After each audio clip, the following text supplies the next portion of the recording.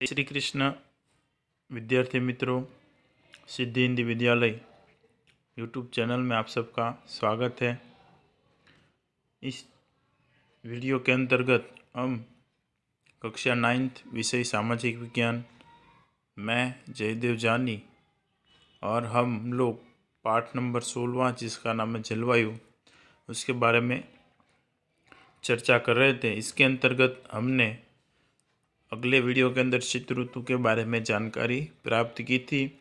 शीत ऋतु का समय काल है दिसंबर से फरवरी, ठीक है? बाईस सितंबर से लेकर इक्कीस मार्च तक सूर्य की किरणें कौन से गोलार्ध पर? दक्षिण गोलार्ध पर लंबवत पड़ती या तो फिर सीधी पड़ती है और तिरछी कहाँ पर पड़ती है? उत्तरी गोलार्ध में और भारत उत्तरी गोलार्ध में होने के कारण भारत में ठंडी मौसम का अनुभव होता है या फिर शीत ऋतु का मौसम का अनुभव होता है।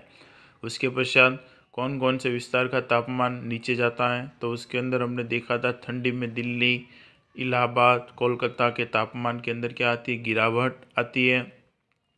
फिर उसके पश्चात कि भाई, शिमला और दार्जिलिंग में जनवरी मास में क्या होता है कि पाँच डिग्री सेल्सियस तक तापमान चला जाता है और तभी वहाँ पर हिमालय में हिम वर्षा होती है और उत्तरी भारत की मैदान की तरफ़ आती है, जिसकी वजह से बाद में राजस्थान और गुजरात में शीतलहर छा जाती है।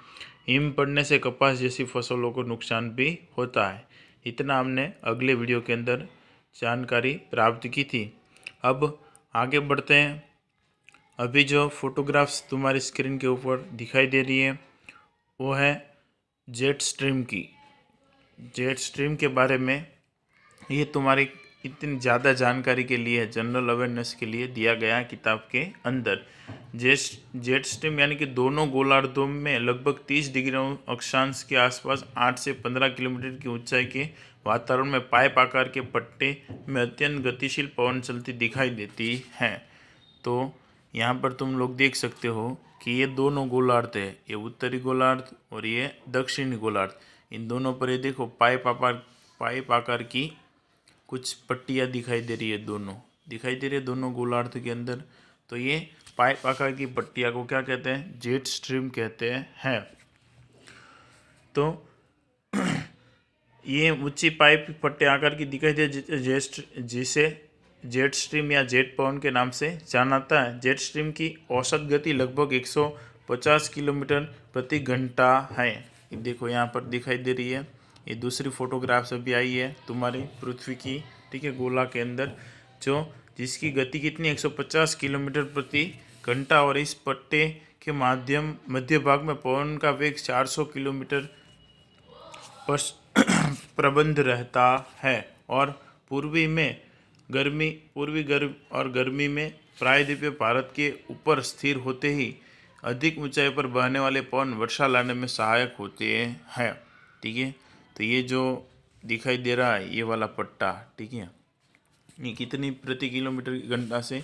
150 किलोमीटर की प्रति घंटा से बहता है यहाँ पर। देखो ये सारी ये जेट स्ट्रीम की फोटोग्राफ्स की इस प्रकार से वायु बहती है।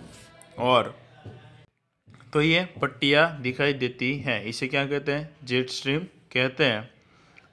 उसके पश्चात जेट स्ट्रीम को अगर आकाश में देखते हो तो ऐसे ही कहीं तो कभी कभार तुम आकाश के अंदर ऐसी वाइट कलर की पट्टियाँ देखने को मिलती है या देखी होगी। तो इसे भी क्या कहते हैं? जेट स्ट्रीम कहते हैं। ये रहा जेट स्ट्रीम के बारे में जानकारी। भारत के मौसम के संबंध में समाचार पत्रों में बार बार उपयोग में किए जाने वाले कुछ शब्दों को पहचान। जेट स्ट्रीम और पश्चिम विक्षोभ यानी कि वेस्टर्न डिस्टर्बेंस। जिसमें दोनों गोलार्ध में लगभग तीस डिग्री अक्षांश के आसपास आठ किलोमीटर आठ किलोमीटर से पंद्रह किलोमीटर की ऊंचाई के तापमान वातावरण में पाइप आकर की पट्टी। अभी जो आगे की फोटोग्राफ्सों के अंदर तुम लोगों ने देखा, उसके बारे में यहाँ पर लिख कर दर्शाया गया है तो इसे पढ़ लीजिएगा। अब आगे बढ़ते हैं, पश्चिम विक्षोभ। तो पश्चिम एशिया के ऊपर निर्मित जेट स्ट्रीम पूर्व दिशा की ओर बहता है। पश्चिम एशिया के ऊपर निर्मित जेट स्ट्रीम पूर्व दिशा की ओर बहता है और उसका प्रभाव एशिया के देशों के कौन से उत्तर, पूर्वी भारत, पाकिस्तान तथा अफ़गानिस्तान पर पड़ता है और इन पवनों के साथ आने वाली धूल भरे तूफ़ान बांग्लादेश तक प्रभाव दिखाते हैं।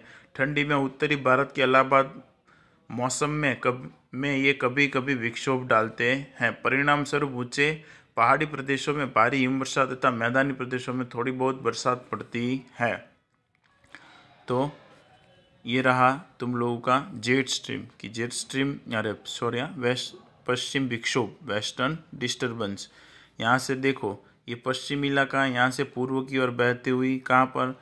तो अफ़गानिस्तान, पाकिस्तान, फिर भारत और बांग्लादेश पर इसका प्रभाव डालते हैं और यहाँ पर ये टकरा जाती है, जिसकी वजह से क्या होता है? कि इसकी वजह से कभी कभार धूल भरे तूफ़ान कहाँ पर आते हैं? बांग्लादेश के अंदर धूल भरे तूफ़ान आते हैं? या फिर ये जो हमारा भारत का पहाड़ी विस्तार है, हिमालयी पहाड़ी विस्तार, यहाँ पर क्या होता है? तो यहाँ पर उत्तरी गोलार्ध के अंदर टकराने से क्या होती है? हिम वर्षा होती है, जिसकी वजह से ये कुछ एक विस्तारों के अंदर, भारत के कुछ एक विस्तारों में क्या होता है? बरसात का भी अनुभव होता है।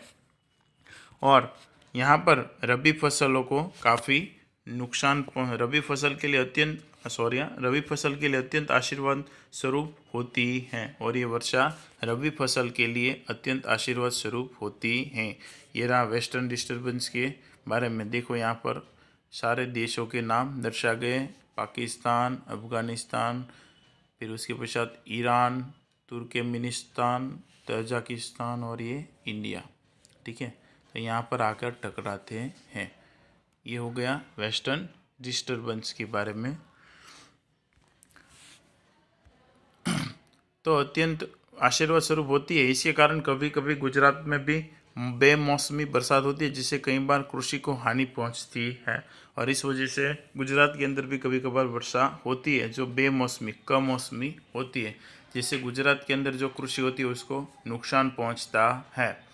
तो ये हो गया जेट स्ट्रीम और पश्चिमी विक्षोभ के बारे में जानकारी। ठीक है? इसके पश्चात आगे देखेंगे शीत ऋतु के बारे में और भी अधिक जानकारी। वीडियो के अंदर कुछ समझ में ना आया हो तो बता सकते हो। आशा रखता हूँ जो पढ़ाया या जो दिखा है उसमें सबको समझ में आया होगा। वीडियो को सुनने के लिए धन्यवाद।